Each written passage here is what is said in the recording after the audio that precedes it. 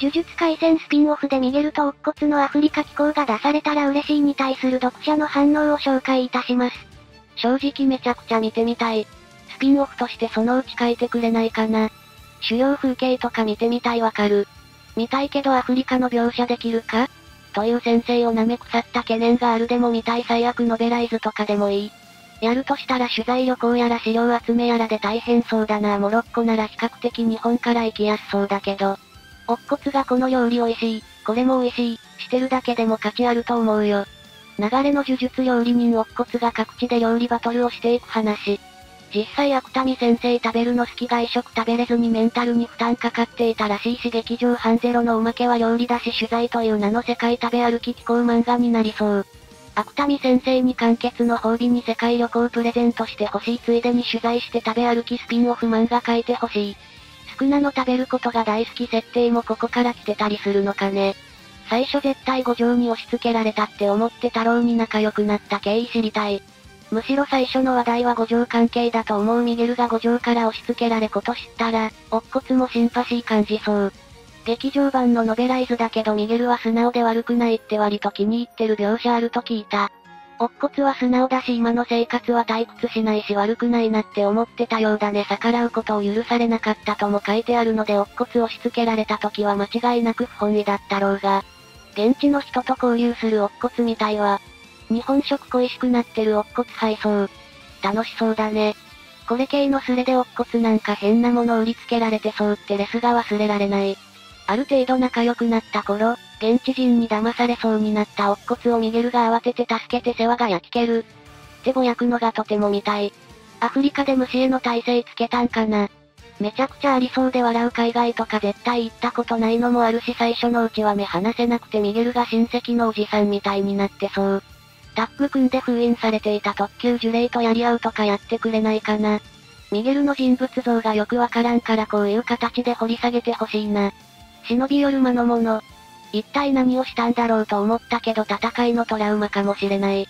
五条は原作に書かれてない部分で半死半生くらいにミゲルをボコってから光線の方に移動したかもね撤退のタイミングにもよるだろうけど。明るい声でひどいこと言ってる乙骨に沈黙を返してる五条がちょっと面白いんだよなこのコマテンション低く。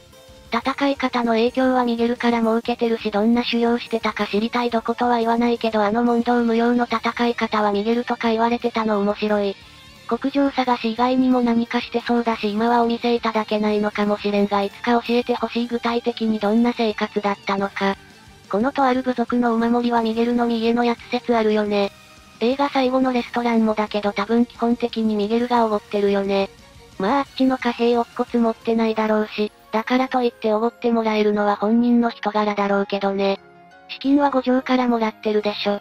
現代アフリカが舞台の漫画って少ない気がするからそっち方面でも希少価値あるね。旅費は五条から出てるけど、それが海外でも使えるカードを渡してる形式だから宿とかは平気だけど、ミゲルが勧めるお店がカード使えなくて仕方ない。俺が出してやろう。って感じだったら面白いね。乙骨肉じゃがみたい。ミゲル肉じゃが？ビーフシチューといえビーフシチューと、ニコニコ微笑ましいね。なおロコイは肉じゃがの味はしなかった模様コラボカフェの感想より。ミゲルと乙骨が軽く組み手してるのとかみたい。ミゲルと乙骨予想以上に仲良さそうだったのかわいいね。ケニアは周辺国の中では医療とかもろもろちゃんとしている方らしいらしい。まあでもグルメ旅したいならアラブ圏の北アフリカとかになるかのね映画に出てきた肉じゃがを難敵なので巻いたやつマジでうまそうだった。あのお土産がミゲルのふるさとの物なら何らかの効果がありそう。アフリカって呪術盛んなんやろかなんかイメージとして漆原教授みたいな呪術師がめっちゃいそうな感じなんだけど、日本以外だと呪術師や呪霊の発生率はかなり低い設定だけど国上持ってたりしてたからそういう集団はいるんだろうな。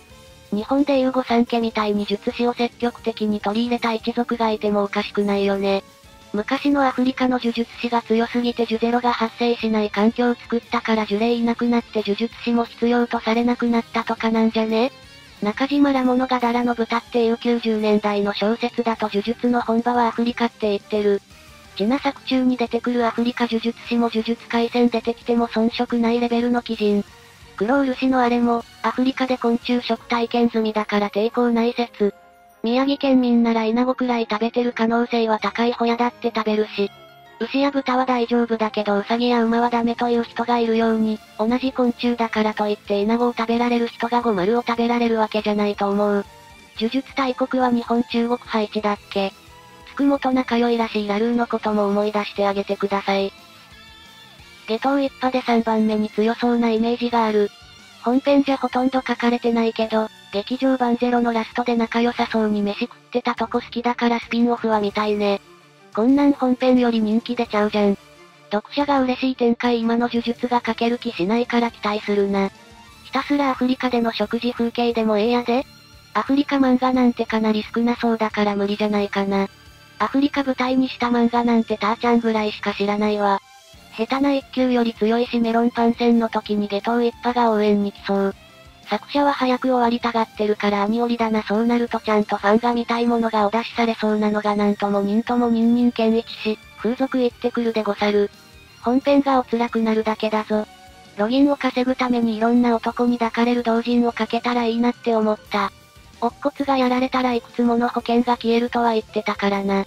できることの幅広さでは感染してる中でも多分一番だよね。反転術式や領域と手札も多いし実力的にも五条を除いてトップクラスだしな。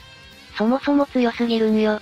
単なる強さなら巻きやはかり、樫本同格クラスはいるけど呪術の才能、って点だとズバ抜けてそう。